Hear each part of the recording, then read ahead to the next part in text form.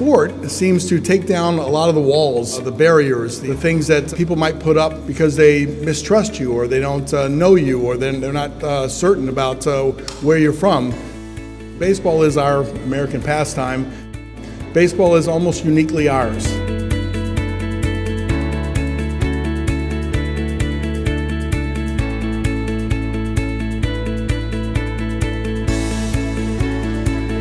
When you start playing baseball, a whole new level of communication happens um, and friendship happens um, just naturally.